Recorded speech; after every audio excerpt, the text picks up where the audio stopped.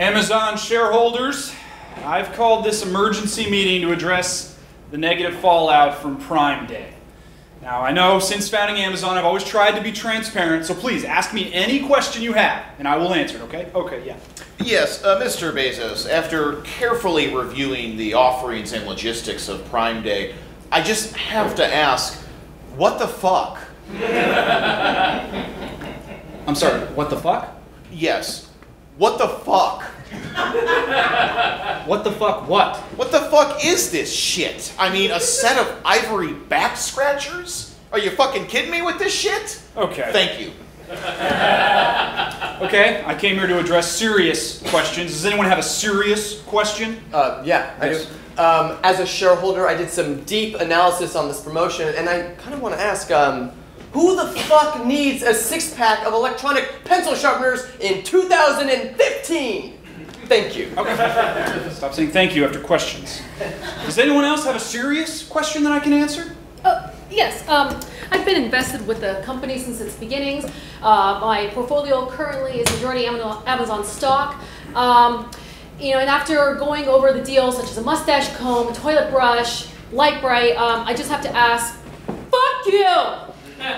Thank you. Okay, the last one wasn't even a question.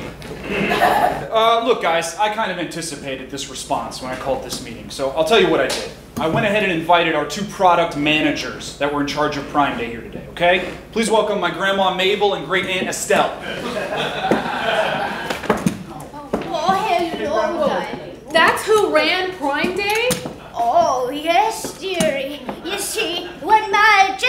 Told me that you had a bunch of things that you needed to get rid of under the Amazon, well, let's put it this way. I never met an attic that I couldn't organize lickety-split. Um, I'm sorry, but who, what authority do you have to run the biggest promotion in Amazon history? I mean, Young man, my sister Mabel and I have been running garage sales since before your parents were born. Have some respect for your elders. I'm sorry. I'm sorry, ma'am. Uh, grandma, I-, I think what they're wondering is why you chose the products you did to feature on Prime Day. Yeah, I mean, who needs a two pack of shoehorns? Well, young man, uh, you might if you wore proper shoes.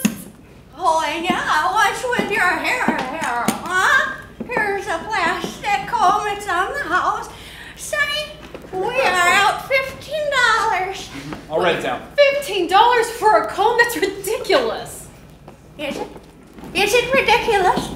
Well, maybe if you used one, you'd get a husband, then you wouldn't have to spend all that money on that oversized tub of personal lubricant for $28, am I right? Uh, I, I don't know what you're talking Oh, about. you don't think that we don't know how to inspect a room when you're not looking? When Jeffy came every summer, I always found his girly magazines. Grandma? I was just glad they were girly magazines. Grandma, cut it out! Now, how about you, short pants? You have some sort of problem with our deals? yes. Is it the two-pack of can koozies for? What about the orthopedic back pillow set? No. Or is it the Adam Sandler three set of DVDs including Big Daddy, Mr. Deeds, and my personal favorite, Click? Oh, he is a funny young man and, and good looking too. No, no, it's it's not. I mean, they're right. These are great deals. This is exactly what America needs right now. Can you just stop making us feel so bad? Good, then it's settled. That's better now.